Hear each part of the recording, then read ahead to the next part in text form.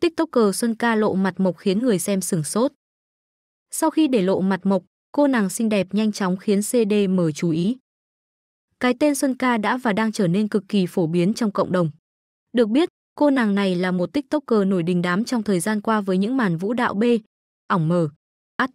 Nhiều phong cách ăn mặc quyến rũ cũng body bốc lửa, Xuân Ca luôn biết cách tạo điểm nhấn mỗi khi xuất hiện trên mạng xã hội, dễ dàng chinh phục được cả những tâm hồn khô cằn nhất chỉ trong giây lát. Thế nhưng vừa qua, Xuân Ca lại nhanh chóng khiến nhiều fan thất vọng khi để lộ mặt mộc của mình. Được biết mới đây, TikToker này đã đu chen trang điểm theo phong cách Ấn Độ. Để hoàn thiện chen này, cô nàng phải liên tục để mặt mộc và thực hiện nhiều động tác biến hình phức tạp. Cũng từ đó, khán giả theo dõi mới có cơ hội được chiêm ngưỡng nhan sắc thật của hot girl triệu view và không khỏi sừng sốt.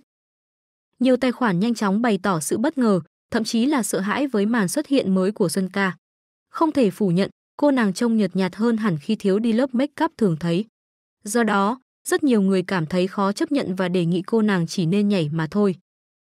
Rõ ràng, lượng ý kiến đông đảo này đã gây áp lực không nhỏ tới Xuân Ca ở thời điểm hiện tại.